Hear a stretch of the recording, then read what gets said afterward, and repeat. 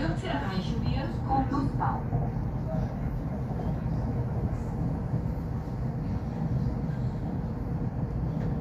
Man da Fall voll Sonne auch gleich von der Seite. Ja.